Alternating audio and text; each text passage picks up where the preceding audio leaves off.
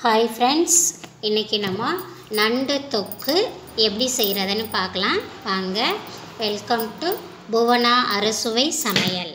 இன்றைக்கி நண்டு தொக்குக்கு என்னென்ன பொருட்கள் தேவைன்னு பார்க்கலாம். இப்போ ஒரு அரை கிலோ நண்டு வாங்கி வச்சுருக்கோம். ஹாஃப் கேஜி நண்டு அதுக்கு தக்காளி வெங்காயம் இஞ்சி பூண்டு கருவேப்பிலை ஒரு சின்ன புளியங்கொட்டை சைஸ் புளி தேங்காய் பேஸ்ட்டு மஞ்சள் தூள் மிளகாத்தூள் இதுதான் இதுக்கு தேவையான பொருள். இப்போ நண்டை க்ளீன் பண்ணி எடுத்துகிட்டு வந்துட்டோம். தக்காளி கட் பண்ணி வச்சுருக்கோம். வெங்காயம் சின்ன வெங்காயம் நல்ல டேஸ்ட்டாக இருக்கும்.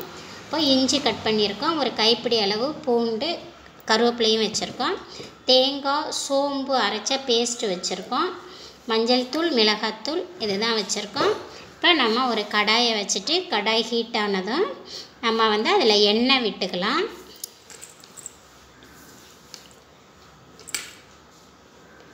இப்போ எண்ணெய் ஹீட் ஆனதும் அரை ஸ்பூன் சோம்பு அரை ஸ்பூன் கடுகு போட்டுக்கோங்க.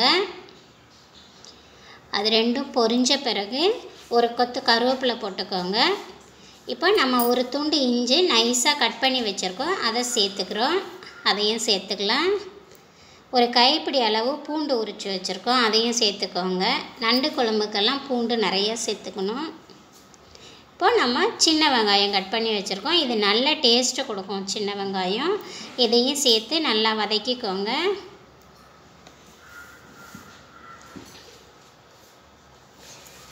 வதக்கிட்டு இது கூட நம்ம கட் பண்ணி வச்சுருக்க தக்காளி சேர்த்துக்கலாம். தக்காளியும் நல்லா வதக்கிக்கோங்க. இது ரெண்டுமே நல்லா வதங்கட்டும்.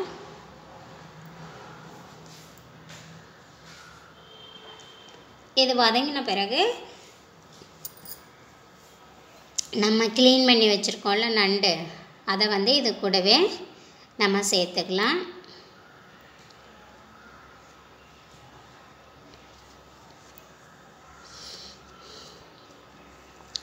நண்டையும் அது கூடவே வெங்காயம் தக்காளி கூடவே நண்டை சேர்த்துட்டு அந்த எண்ணெயிலேயே நண்டு வந்து ஒரு ரெண்டு மூணு நிமிஷம் நல்லா பிரட்டி விடுங்க. வெங்காயம் தக்காளி கூடவே இந்த எண்ணெயிலேயே நல்லா நண்டை பிரட்டி விடுங்க.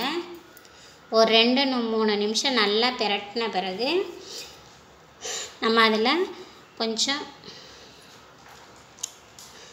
ஒரு கால் ஸ்பூன் மஞ்சள் தூள் உங்கள் காரத்துக்கு தகுந்தாற் போல் நீங்கள் மிளகாத்தூள் போட்டுக்கோங்க. நான் ஒரு ஸ்பூன் போடுறேன். இது குழம்பு மிளகாத்தூள் எல்லாம் கலந்தது.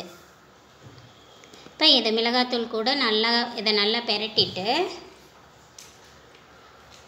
இப்போ நம்ம இதுக்கு தேவையான தண்ணியை விட்டுக்கலாம். நான் ஒரு ட ஒரு டம்ளர் தண்ணி விடுறேன்.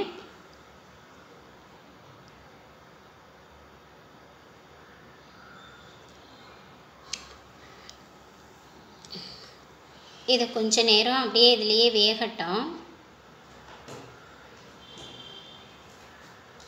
நம்ம இப்போ தொக்கா செய்கிறதுனால கொஞ்சமாக தண்ணி விட்டு செஞ்சுக்கலாம். நம்ம கிரேவினா கொஞ்சம் ஜாஸ்தியாக பண்ணிக்கலாம். இப்போ நம்ம சின்ன இந்த சைஸ் தான் புளி ஊற வச்சுருக்கோம். அதை கொஞ்சமாக அதில் புளி தண்ணியை கொஞ்சமாக சேர்த்துக்கலாம். அது சேர்த்துட்டு அதை கொதித்த பிறகு நம்ம இதில் தேங்காய் சோம்பு கொஞ்சம் மிளகு வச்சு அரைச்ச பேஸ்ட்டு வச்சுருக்கோம். அதில் ரெண்டு ஸ்பூன் அதில் சேர்த்துக்கலாம்.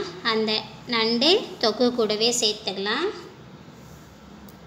இப்போ இதை நல்லா கொதிக்கிட்டோம். நல்லா கொதித்து நல்லா கொஞ்சம் திக்காக வந்துச்சு. இப்போ நமக்கு சூப்பரான நண்டு தொக்கு ரெடி ஆகிட்டு லாஸ்ட்டாக கொத்தமல்லி போட்டு இதை ஆஃப் பண்ணிக்கோங்க.